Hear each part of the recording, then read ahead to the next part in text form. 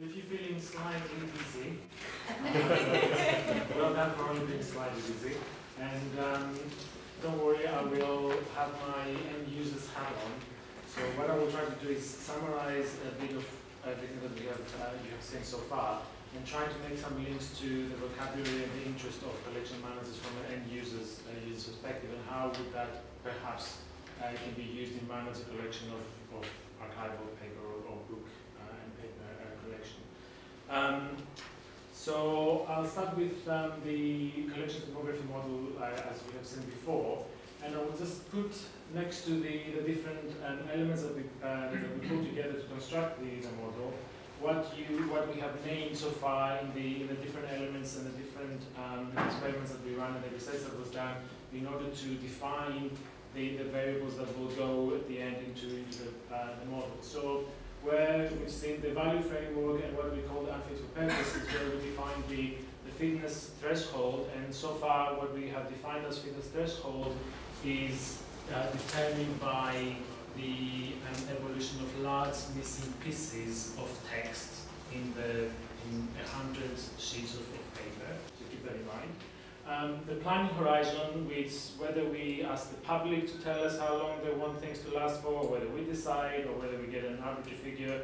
At the moment, it stands at 500 years. We thought that is a reasonable um, uh, time length. Um, the age, agents of change, the model is looking at relative humidity and temperature, and these are not dynamic at the moment, as it was asked earlier, but you can either put them in as monitored data from relative humidity temperature or as data as, as values of relative humidity temperature we would like to keep the collection under. And the dose response function is the big complicated uh, function that Matija presented and the isoperms that come um, through that. And the material science behind this stands respectively to the subjectivity of the public's opinion or our opinion of how things should last long, forward and all that. Um, and then the material survey, which includes some of the variables of, of the model, the pH and the degree of depolymerization, um, and the access level, as Matthias said, we have for instance, the National Archives, we have statistics of access level, and we can spread that over the, the number of records that we hold, or we can examine it in more depth for individual parts of the collection if we like. So we can, then you'll see in a minute how the model works, and you can say, well, my collection is accessed once a year. Every item in the collection is accessed once a year, or, or twice a year, or whichever number you, you like to choose. pH and degree of polymerization is actually measured from the collection, and this is something that can be repeated over time at, at various intervals so that the, the model can be run again and the prediction of the model can be assessed depending on what has actually happened in the collection.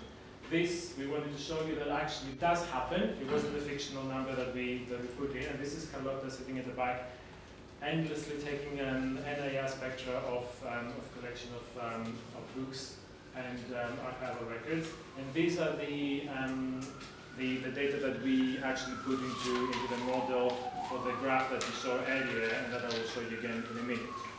So to summarize all that, um, the variables that go into the, into the model um, are the, is, uh, is the dose response function, and that answers some of your questions about whether that can be, um, whether the model can be applied to other materials. And yes, it can be applied if you change the dose response function. So if you, if you develop a, a damage function, a dose response function for plastics or for photographs or for, um, for iron, you could change that into the model and take, that, and take a different um, approach to different materials. The degree of depolymerization was in this case what we, how we determined the, the uh, end of the threshold of fitness for purpose, but again, that could be, that could be changed. Access level, as I said, it could be something from that comes from the statistical um, data of a particular collection or determined by, uh, by you if you can control access, because in the case of, say, the National Archives, limiting access will defeat the purpose of, of, the, of the archive, which is to give access to, um, to, the, um, to the records. Um, the threshold for fitness for purpose is, if I'm not wrong, this, um, this function, and although we did examine the evolution of um, uh, tears and, uh, and, and, missing pieces, we ended up considering large missing pieces of text because that correlated with the perception of, of the public of that being unacceptable for something to be read. However, we do have the data for the for tears, uh, and we do have the data for uh, the other for, for discoloration, but that didn't seem to, to, to bother people. So we know we haven't put it in there. We can, though, if we want, and I'll show you why it could make sense if the fitness for purpose, the purpose was different than what we have decided to use at the moment, which is to read something. Okay, and then finally, the planning horizon, as I said, we've seen that graph before, 500 years. It could be any any um, other interval. Um, so I grouped all this together in this um, in this.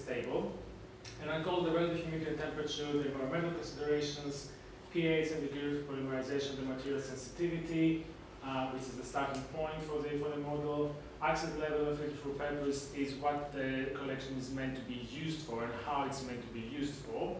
And then the planning horizon, which we tend to call the expected lifetime, although I'll get to this, I can't really help myself not say this will be the end of the lifetime, although we reiterated that you know, when you see the end of the graph, it's not the, it doesn't mean that the collection is evaporates. Uh, but that's where, uh, because we, we have used this term of the expected lifetime in, in other contexts, I put it in there like this. Um, and um, to link that, uh, if, you if you have been wondering so far since the publication of PAS 198, how can this be used in order to manage collections, the terms that you saw earlier are included in the in PAS 198, where it talks about the life expectancy that can be that should be determined by the institution or decided by the institution. Whether it takes the public opinion into consideration or not is a different matter.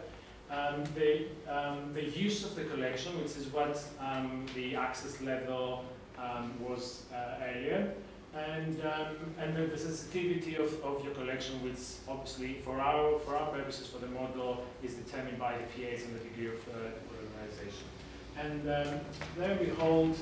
This is the graph from the um, from PAS 198, and all the terms are in there, which are in effect, if you remember the, the table before, the variables that go into into the collection demography model.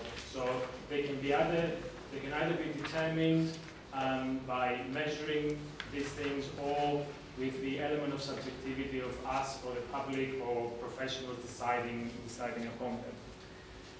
Um, so just to, before I showed you the graph that Matija showed earlier, um, this is an example, and that graph is an example, that, and these are the variables that we have input for that particular, particular graph.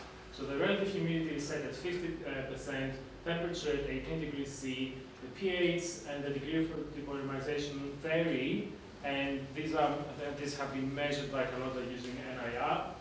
The access level is set once every two years, so it's a relatively low um, uh, level of access, but that's because we have spread the, the total amount of productions at the National Archives over the entirety of, of our collection. So that's what would equate to. However, as I said, you could examine it for, for smaller parts of the collection, have a higher um, access level. And then the fitness for purpose, remember this because, as I said, I can't help myself saying, oh, this is the end of the lifetime. It's volumes of, um, uh, of 100 sheets that at least 50% of them contain large uh, missing pieces of text.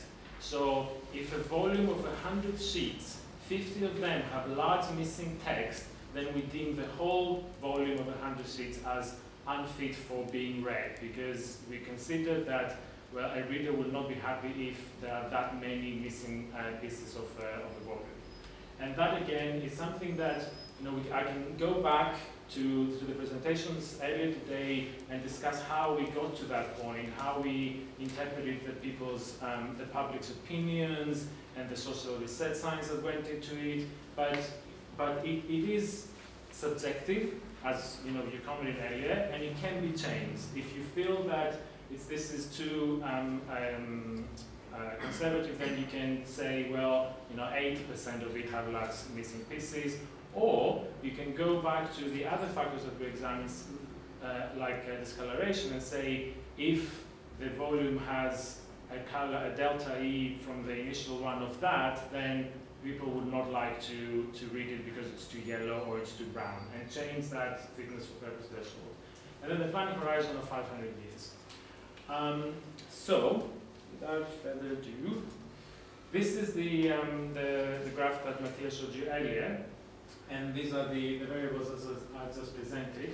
So um, the black line is the, the entirety of the collection, how its fitness for purpose, which is to not have more than 50% of large missing pieces within it, decreases over time, and therefore uh, at around, I don't know, I think this is five, this is the line for 500 years, the um, about 80% of the collection will still not have 50% of large missing pieces of text.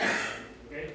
Um, however, if you look the breakdown of the different types of paper, or maybe subgroups of your of the collection, which are the acidic contemporary deacidified and paper, say the acidic paper, which has a more dramatic sort of decline in, in, um, in degradation, will only almost half of it will have passed that threshold. So half of it uh, half of that part of the collection, readers, according to our study, will not be happy to, to use because they will consider that, well, you know, there's too much of it lost to, uh, to get the information that we want out of it. Um, this graph is actually, I will um, step out of the camera for a second and um, show you the, it lives. It lives on this um, spreadsheet at the moment, an Excel spreadsheet. And um, the, the values for temperature and humidity, the, the, the use and fitness threshold can be changed and you can see what would happen to the, um, the fitness for purpose over time, both for all the collection um, uh, together or for the individual parts of it. So from a collection management perspective, if I wanted the whole of the collection to have a certain life expectancy for, fit, for the purpose that we have defined, then I would adjust the, the temperature, the humidity, all the other variables to extend the, the graph for acidic paper to match, say, the graph for the rag paper. So then I know that the, all of the collection will, will degrade in the same in the same manner. And that can be achieved if you change the humidity and temperature or if you control use, of course. Um, which, as I said, it may not be always possible.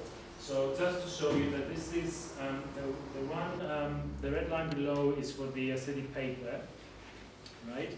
And whereas on the on, on here we have the same 50% uh, relative uh, degrees uh, temperature, I will just change one and say, well, you know, 22 degrees is not unheard of, and relative humidity of say 60%, and this is how the This is how now that has changed in comparison to that. So you can see that the collection of acidic paper is now all behind the, the 500 years threshold, whereas in this case only half of it is. And if I lower the temperature or the relative humidity, then I can extend it all to be, you know, after the, the 500 year um, threshold and match one of the thresholds of the other types of the, of the collection. Okay, so far? Now, this is all good.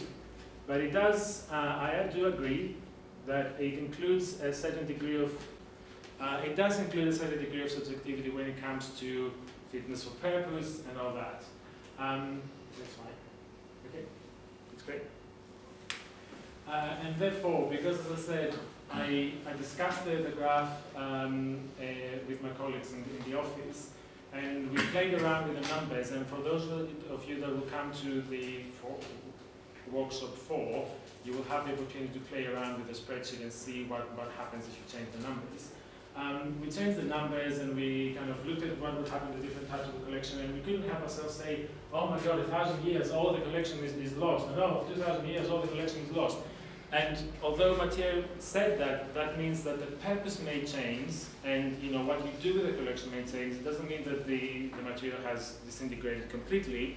Therefore, what I did was flip this graph upside down.